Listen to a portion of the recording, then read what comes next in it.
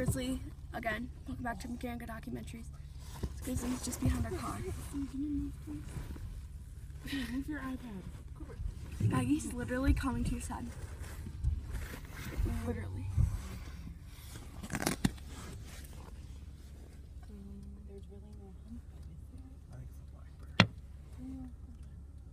Its ears are big.